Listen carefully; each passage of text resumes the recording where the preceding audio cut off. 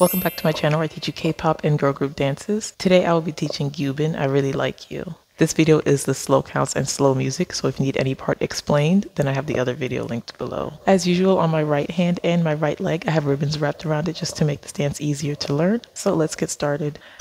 Five, six, seven, eight, and one, and two, and three, and four, five, six, seven, eight, and one, and two, and three, and four, five, and six, and seven, eight, one, and two, three, four, and five, six, seven, eight, one, two, three, four, and five, and six, seven, eight. Step, step, turn, step, step.